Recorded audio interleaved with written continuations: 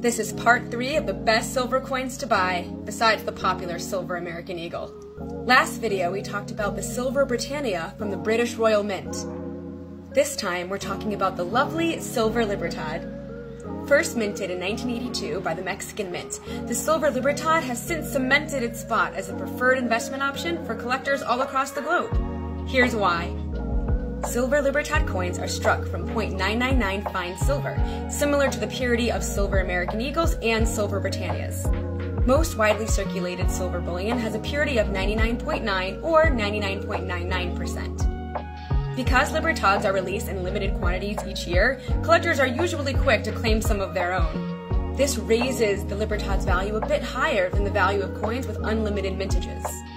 Silver Libertads come in a variety of denominations and sizes, making them an accessible investment option for buyers of all kinds.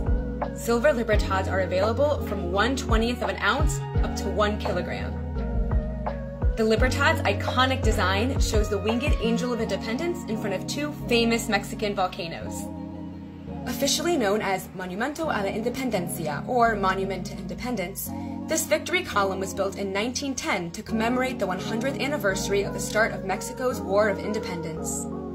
This monumental sculpture still stands tall as a recognizable landmark in downtown Mexico City.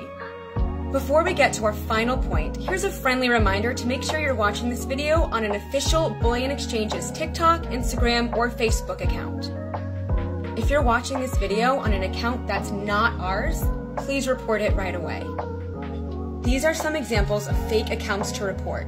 Remember, if there are any extra or missing letters or numbers in the username, it's not us.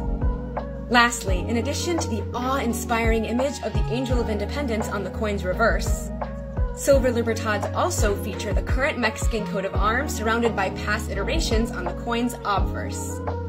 Let us know in the comments why you love collecting Silver Libertads and venture a guess at which coin we're talking about next.